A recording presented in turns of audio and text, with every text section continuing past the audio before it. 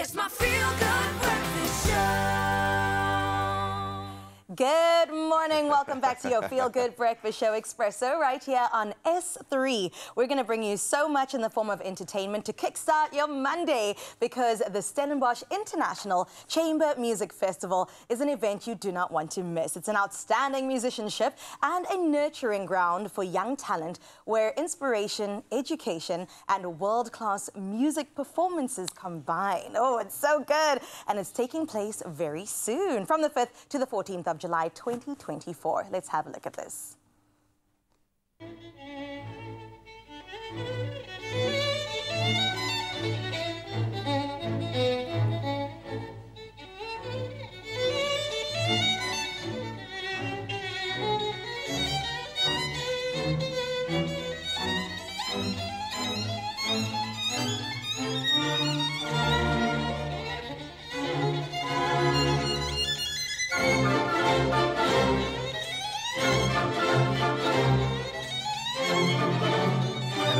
Burst like that can make you feel better, just imagine what a, an entire experience, lived experience, could be like. Well, joining us right now to chat more about what will be happening this July is Nina Schumann, who is the artistic director of the festival. And man, you got to see her behind the keys, and the director, Peter uh, Martens. And let's give him a very feel-good welcome because it is early on a Monday morning, okay?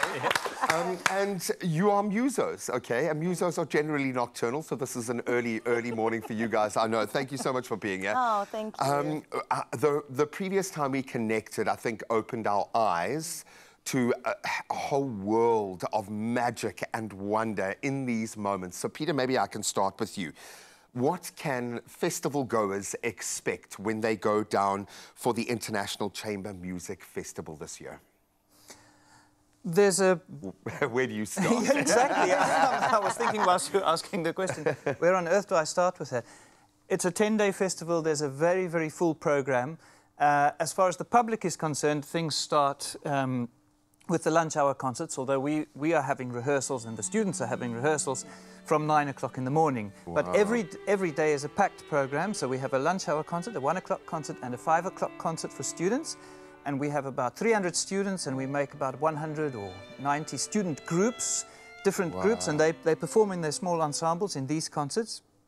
In between these concerts, we have uh, lectures, we have public masterclasses, we have coaching sessions, and then in the evening at 8 o'clock in the Endler Hall, we have the coveted faculty concerts. So that's when um, the faculty of the festival, and the faculty is made up of about 30 international stars. Wow. I was going to say, let's say the best musicians that we're liable to see on one stage grouped together. It really, it really is like a, there's no other collective of musicians uh, in, in our genre of, of that level in South Africa, except for at the Stellenbosch International Chamber Music Festival. And we also, we, we, we do exactly what the students do. We get together on two or three rehearsals and put together amazing programs. Nina works all of that out, so she does fantastic programs. You know, I can see the tell. steam rising from your head.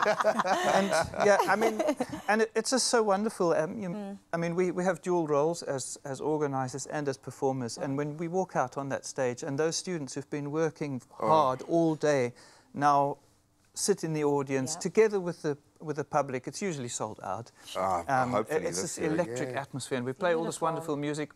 M- A lot of which doesn't regularly get played in South Africa. So it's a unique opportunity for us as performers and for the audience to hear some amazing works. I- I'm just thinking of all the threads that are coming together Can with you this. imagine? And speaking about threads coming together, I mean, Nina, you've got your work cut out for you as artistic director. How, how exactly did you put everything together, everything that, of course, Peter just mentioned? Well, uh, you know, this is our 19th uh, festival. So when we started off, we started rather conservatively. And, and my job is basically to select the international faculty and uh, the local faculty as well.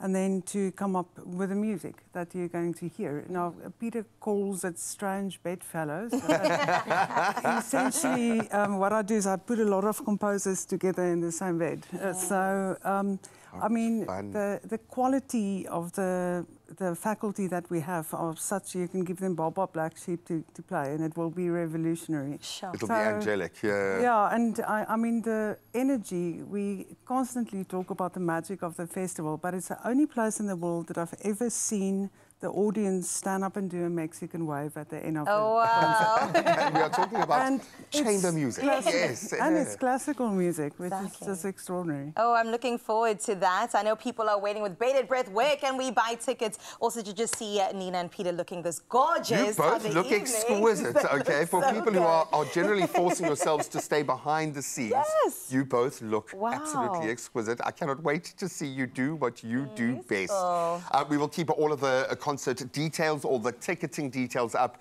I I would imagine tickets are going to go fast, but an opportunity not just for musicians, for the audience members, for us, but those that are in this field to plug into what sounds like the most incredible community of artists, a very, very rare but a golden opportunity. And of course, we will bring you just a little taste here on your Feel Good Breakfast show, so don't stray too far.